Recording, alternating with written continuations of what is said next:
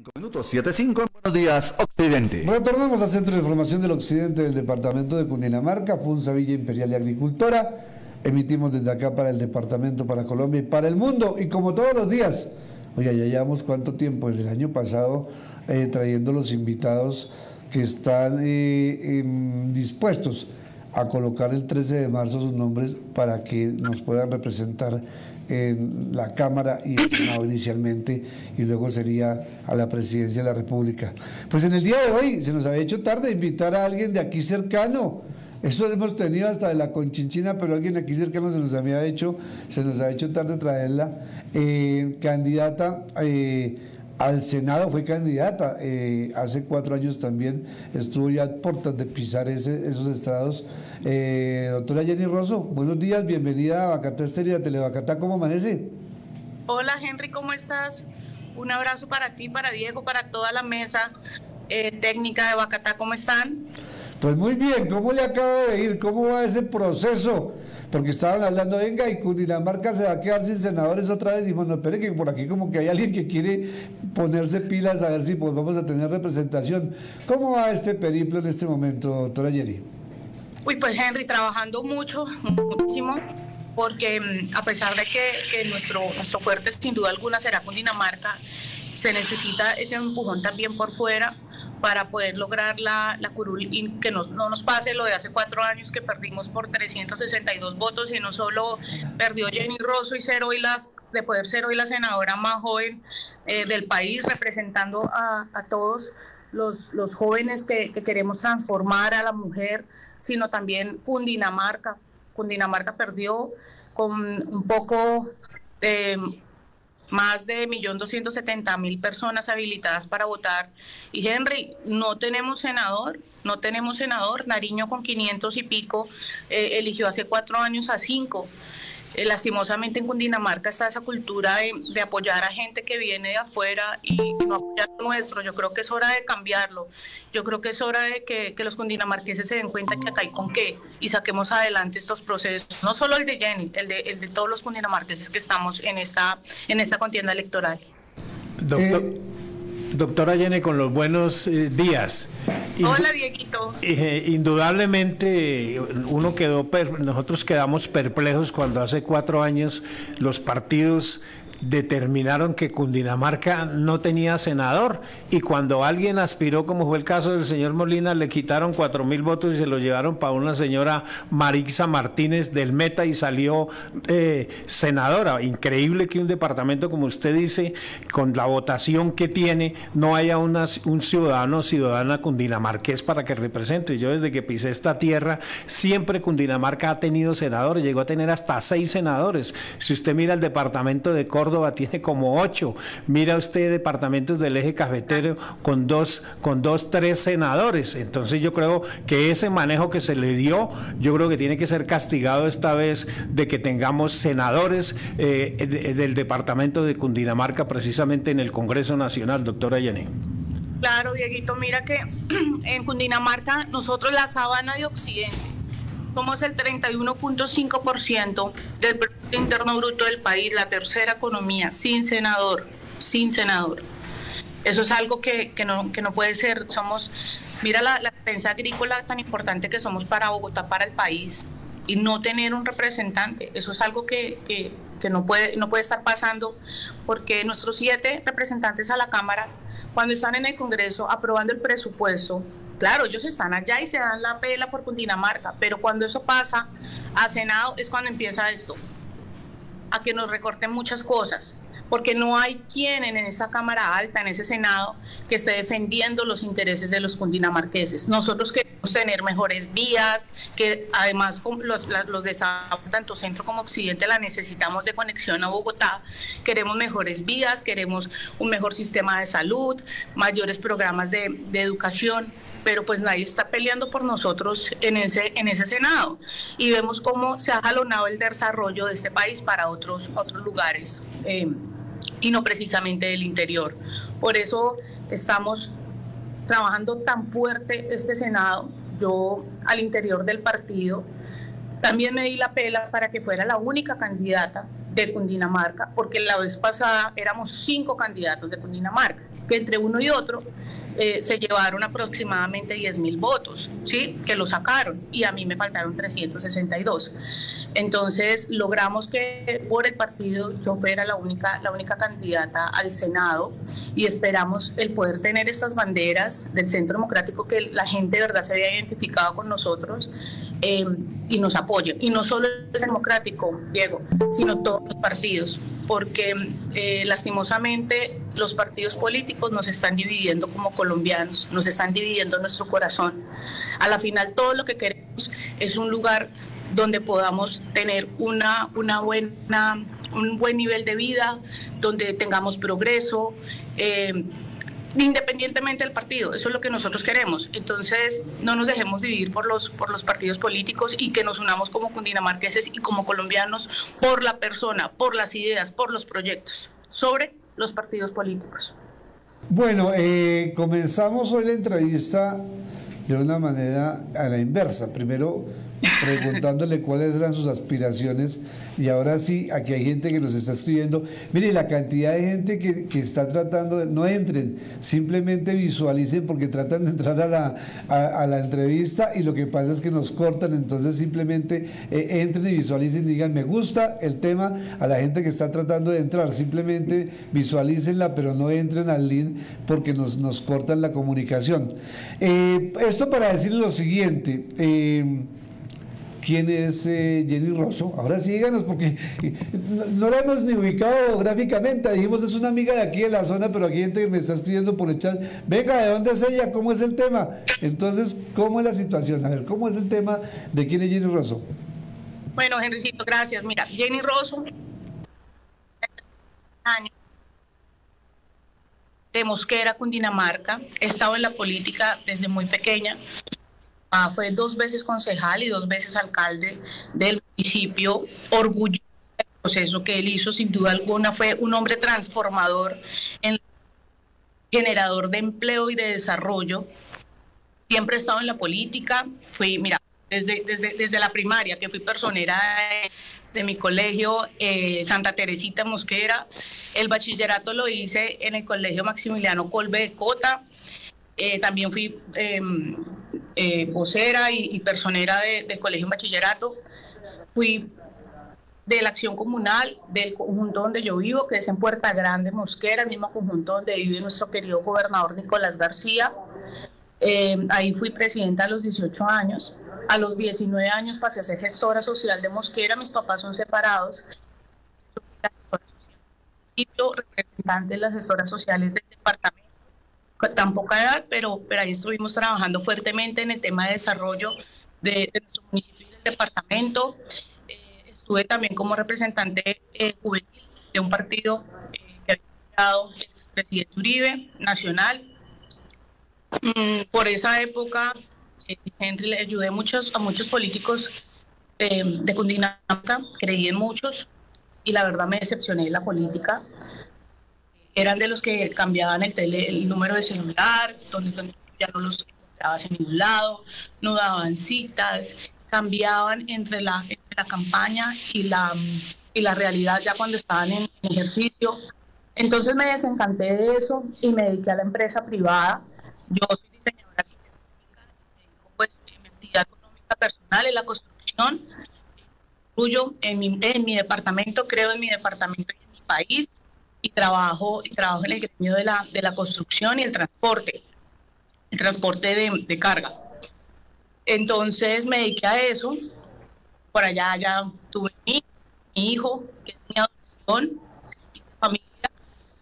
Y después de eso, Henry... Doctora Jenny Rosea, si podemos manejar el sonido suyo porque se le está cortando mucho el micrófono, se le corta mucho el micrófono y queremos escuchar bien esas historias de lo que nos cuenta usted y las propuestas, de pronto poner el celular un poco más quieto para que mejoremos el sonido, porque se le está yendo el, sonido un poco y queremos tenerla lo más nítido posible. A ver si por ahí mejoramos un poquito para tenerla ahí. Estábamos que fue que usted ha sido una eh, luchadora también dentro del empresaria como tal eh, con ya la trayectoria suya en todo lo que pasó hasta por las juntas de acción comunal, por todo este tema.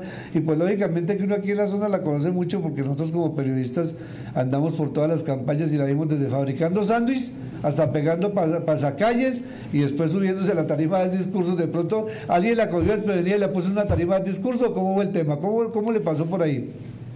No, pues desde pequeña, de hecho mi primer discurso fue, fue eh, para cierre de campaña de, la, de, la, de la alcaldía de mi papá, de la primera alcaldía, eso sería año que 97, 98, tal vez con 12, 13 años.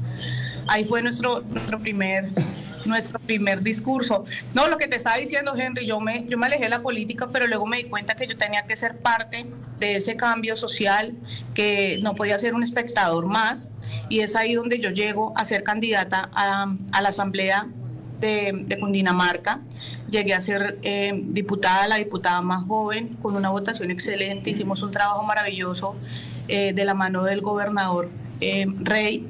Ganamos premio nacional por nuestros aportes a la niñez en su programa de en su programa de gobierno, en su plan de desarrollo. Creamos la Secretaría de la Mujer, hicimos un control político muy destacado a los hospitales y a los rectores de los, de los colegios.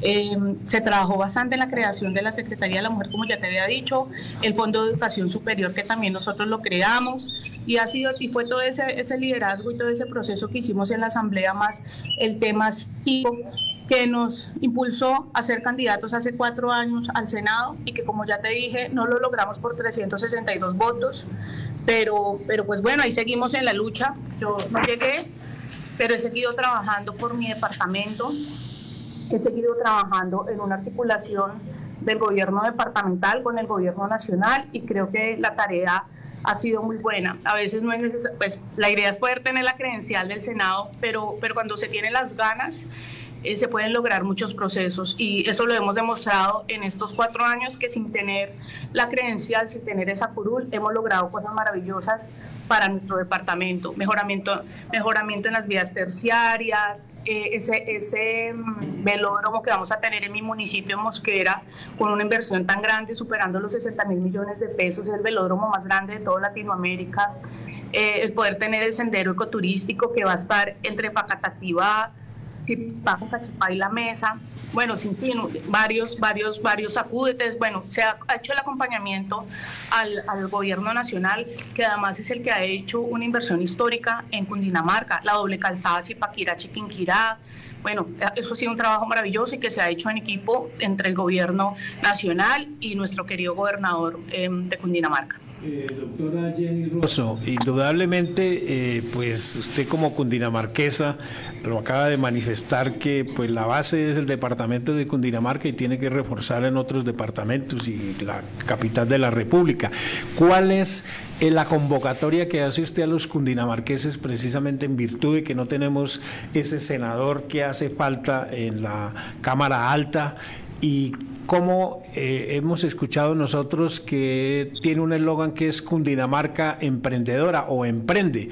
Frente a eso, ¿cuál es esa línea que usted está haciendo en el departamento de Cundinamarca en su recorrido?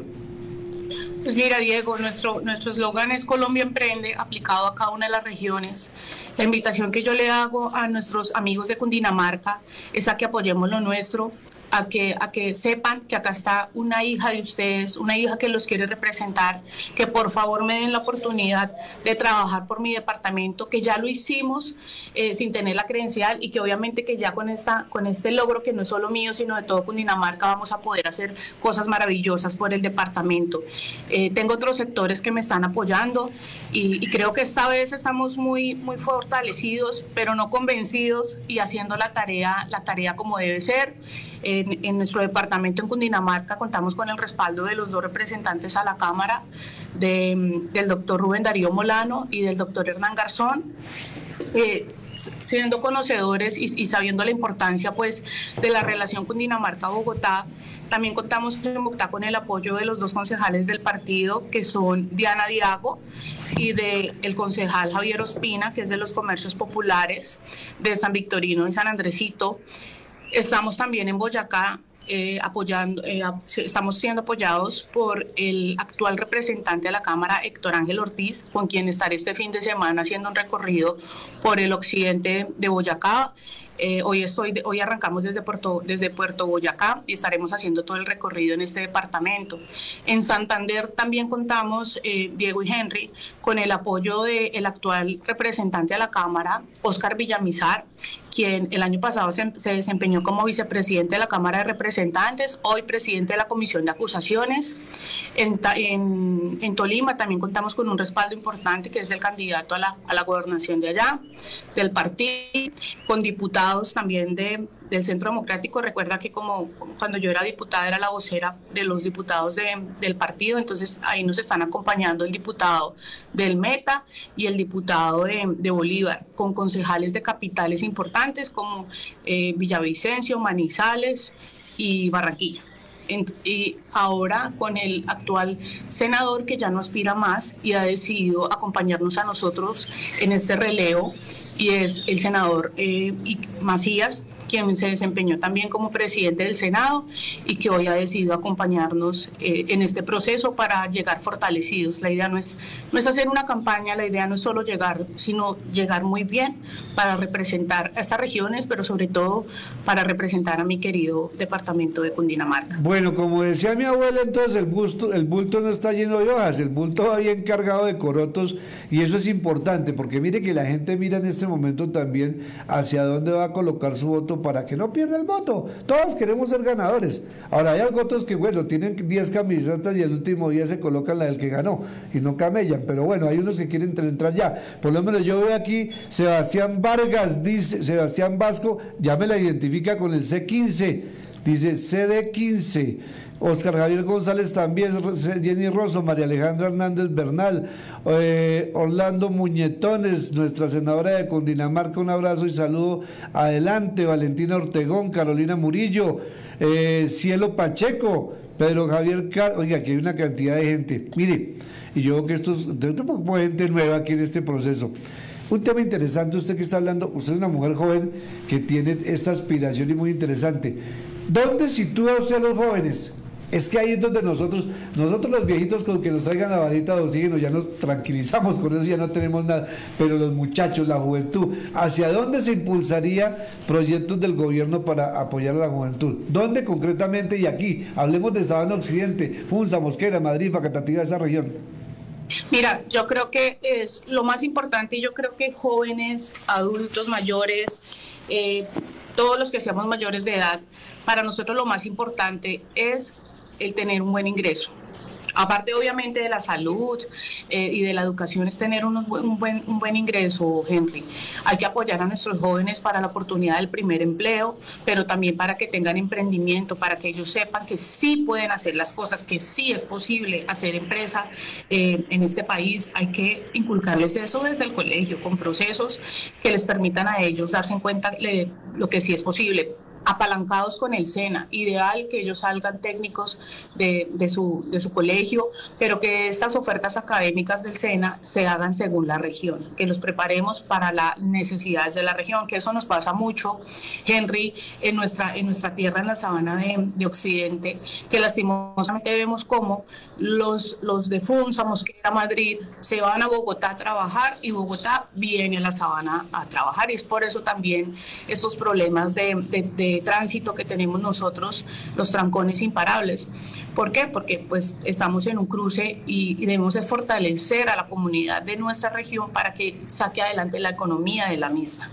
Bueno, les pido a nuestros seguidores aquí en este momento en la página, denle un me gusta ahí a la página para apoyar todo este tema. Andrés Felipe, ser FMS Carreño, eh, Jenny Rosso, vamos con nuestra senadora, Jessy Fonseca siempre firme con Jenny Rosso, Efelbrand Torres Espitia, desde Boyacá, María Alejandra eh, Rifaldo, representante femenina, adelante senadora. Eh, Anita Rosinque, una senadora propia para nuestro departamento, Adrián Lobo Beltrán, adelante senadora. Venga, muchos seguidores en este momento aquí en la zona. Denle ahí, seguidores, un me gusta ahí al tema para ir fortaleciendo todo este tipo de procesos, don Diego. Doctora Yene, de todos modos ya en campaña, ya quedan prácticamente dos meses, ya pasó el primero y hay que aceptar la realidad. Si usted mira las encuestas, pues dos de las causas que la gente eh, marca indudablemente es la corrupción y el, y el empleo. Son como dos cosas eh, fundamentales. Frente a eso, ¿qué opinión tiene frente a la lucha contra la corrupción? Usted que es una mujer joven que se va al Congreso de la República, que tiene un desgaste y un desconocimiento de la opinión pública, la mismo de los partidos. ¿Cómo va a enfrentar usted eso no solamente en su campaña, sino ya con la credencial allá precisamente en ese histórico hemiciclo? Es que mira, Diego, lastimosamente en este país se ha estigmatizado eh, el tema de los empresarios o los comerciantes en su participación a la política. Cuando, cuando yo inicié en este proceso me decían, uy, pero un empresario en la política, pues sí, pues sí, mira, el Congreso hoy está con una imagen desfavorable, si no estoy más superior al 80%, y los empresarios tenemos una imagen favorable del 69%, si no estoy mal. Entonces, lo que necesitamos es más comerciantes, pequeños, medianos y grandes empresarios que quieran llegar a ese Congreso, personas que están pagando impuestos, que saben que les duele pagar impuestos y no van a llegar a robarse lo de ellos mismos. Entonces, es importante el poder apoyar a, estas personas que tienen una actividad económica para que lleguen al, Congreso y a, todos los, todas las entidades de elección pública porque ellos llegan ya con una visión diferente porque ya es tocar el bolsillo, el bolsillo de cada uno. Entonces hay que fortalecer em, este tema de la participación de, los pequeños, medianos y grandes empresarios, de los comerciantes, de también las personas que trabajan en el campo para que participen en política, pero, pero también estar, hay que ayudar en, muchas cosas. Eh, menos, menos cargos burocráticos, eso siempre lo hemos hablado. Hay que reducir sin duda alguna el Congreso porque hay un montón, mira, yo trabajé como coordinadora política estos cuatro años del expresidente, de estos tres años del expresidente Uribe y estuve ahí en el Congreso y, y podía evidenciar cómo muchos van a calentar sillas Entonces sí hay que reducir, sí hay que reducir el, Congreso y de verdad que estén las personas que, que, se lo merecen, pero que sobre todo van a trabajar por el desarrollo del país. Reducción del Congreso, quitar los cargos por bata, eh, fortalecer las, las leyes para, que, para evitar la corrupción y mayor participación de los diferentes sectores económicos. Eh, 7 con 28 minutos, María Alejandra Mejía Nieto, Colombia Emprende, de Oscar Mauricio Zavala desde Biotá, Dinamarca, la saluda. Ana Lidia Velasco, ¿de dónde será Anita? Como de 30 municipios dicen que toda la que la piden para allá y otras la mandan para acá. Anita, un abrazo. Freddy Cárdenas es nuestra senadora, dice Juliana Rifalbo Bonilla desde Puerto Salgar, Dinamarca. Adrián Lobo Beltrán, adelante, senadora. Un tema concreto, senadora. Cosas positivas de la región metropolitana, hablando de aquí el occidente, hablando de esta zona. Cosas positivas que debemos tener en cuenta y que no le gusta, pero así concreto porque el tiempo se nos acaba. Bueno, eh, cosas concretas, lo importante es el desarrollo, el desarrollo entre, entre Cundinamarca y Bogotá, refiriéndonos pues al tema de, vivienda, refiriéndonos a las oportunidades laborales, a la comercialización entre, entre Cundinamarca em, y Bogotá.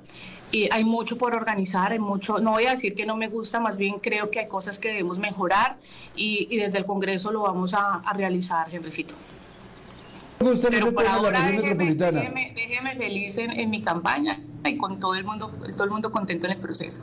Ah, bueno, y lo que no nos gusta de la región metropolitana, ¿cómo ve ese Regiotran? ¿Va a salir, no va a salir? Hay que impulsar lo que hay que hacer con todo este tipo de cosas. Bueno, según entiendo, sí, sí va a salir. Eh, y, la, y, la, meta de nuestro gobernador es que inicie su construcción antes de que él se vaya. Entonces, eh, hay que meterle la, la, ficha y la esperanza y las ganas a que, a que se pueda lograr. Pero también, Henry, eh, lo importante de tener este, este, este tipo de proyectos que vamos a tener nosotros del Regiotran, también tenerlo en la zona norte, para la gente de, de Chía, Cajicas y Paquirá. Pero pues necesitamos esos senadores empujando estos proyectos. Eh, doctora Jenny, ya hablando de mecánica, en este momento, pues recuerde que los partidos tienen que definir si van a las famosas tres coaliciones que hay. Ustedes en este momento, pues no han tomado esa decisión. Hay un concepto en esa comisión de eh, por Colombia, en la cual, pues hay algunos candidatos que se oponen al ingreso de Centro Democrático y eso es fundamental eh, que, que vayan a la consulta. Pero ustedes, ¿cuándo toman esa determinación? Y en cuál eh, coalición se pueden, pueden quedar ustedes de acuerdo a sus ideales. Bueno, pues Diego, según lo que lo que sé es que eh, están en conversaciones con la con la coalición de la de la experiencia donde están pues los exalcaldes y, y exgobernadores. La idea es poder llegar allí a esta a esta coalición, poder participar este 13 de marzo que Colombia elija la mejor opción. Yo creo que el voto a la presidencia es el voto más personal que, que existe porque pues la persona vota por quien se, se, siente identificado, es un voto muy personal. Entonces que nos abran ese espacio para poder participar y, ya que Colombia decida, que Colombia decida la mejor opción para, para este 2022. Eh, decimos aquí, bueno, regales no me gusta a estas personas. Eh, Torres Espitia desde Umbita, en Boyacá. María José Hernández desde Villeta. Ay, María José, un me gusta este tema y a través de nuestro Facebook. Cristian Uricochea, excelente, mi senadora Ferney Amaya. Un saludo a la mesa de trabajo. Ivano Campo desde Moniquirá. Oiga, Moniquirá, chévere. Angie Ulloa Rosso, Jenny, nuestra senadora, Ivano Campo desde Moniquirá. Jessy yo he visto por aquí otro de Mariquita, Tolima. Desde Mariquita nos está eh, también eh, siguiendo a esta hora de la mañana, que se me perdió el nombre de kit que tenía de Mariquita. Bueno, mucha gente de muchas partes del departamento, para que miremos que nosotros llegamos aquí al occidente, llegamos a Boyacá, al Tolima, llegamos a todos los sitios. Mire, hasta donde usted está yendo, nos están siguiendo también aquí, también a través de Telebacatá. María Alejandra Hernández Bernal desde Mosquera, también la siguen desde Mosquera. Fabio Cruz, Borbón, dice que él anda por todo el departamento, que también la sigue. Bueno, una cantidad de gente. Pues vemos que si esto se comporta así como se está comportando, seguidores de muchas partes, podríamos tener una senadora, pero cercana o después para dónde va a coger. Después de que se como es senadora nacional, entonces, no, entonces chao, nos vemos. Me voy a vivir a los. No, no, ¿Qué va a hacer aquí por la zona? ¿Qué va a hacer por esta parte, eh, doctora Jenny? No, eh, Henricito, pues obviamente que, que, seré la senadora de todos aquellos que nos apoyen.